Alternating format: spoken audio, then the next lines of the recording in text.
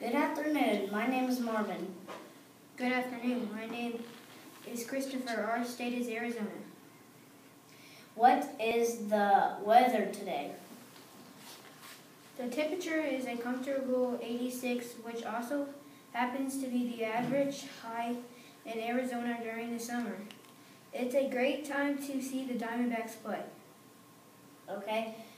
Can you tell the Audience. Audience about the history of the Di- Diamond The Arizona Diamondbacks won the World Series in 2001. They had only been on Major League Baseball team for four years.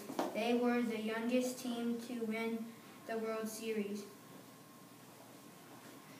Very good. Cool. So come down to our home stadium and cheer on the Diamondbacks as they face off against Pittsburgh Pirates.